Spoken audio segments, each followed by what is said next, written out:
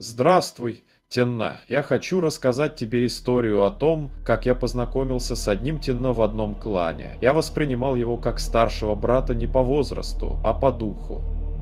Но он оказался приспешником человека в стене. Он менил Эквинокс. Я же не интересовался Эквинокс, так как тогда еще не было речи о том, чтобы танковать через щиты. Мы вместе ходили на сбой.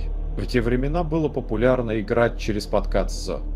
Он убивал подрывников с боя с одного подката. Я много раз спрашивал его, как ему это удается но он насмехался над моим танковым стилем игры и высмеивал меня перед всеми его товарищами клана, скрывая от меня, что у Equinox есть способность, подобно Нейдже, накладывать дебаф на врага, увеличивая его уязвимость к урону.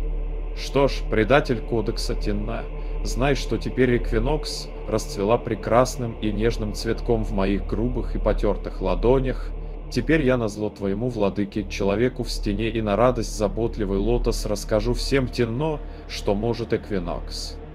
Так вот, Эквинокс, подобно Сарине своей ультой, может ваншатнуть всю карту на обороне даже на стальном пути. Эквинокс, подобно Нейдже и Баруку, имеет резист к урону. Эквинокс, подобно Нейдже, может накладывать на врага дебов уязвимости к урону.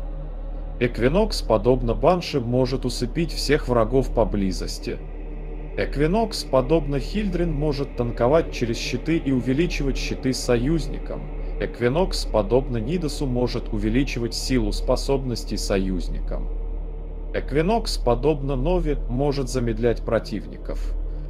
Вот какова Эквинокс. Выучи мой урок, Тенна. Я не имею ненависти к тому, что негодяй использует, чтобы унизить меня. Я беру это и направляю в праведное русло. Я не скрываю ценные знания от интересующихся ими. Я делюсь знаниями, а в ответ реальность открывает мне двери новых вариаций, чтобы я продолжал ими делиться.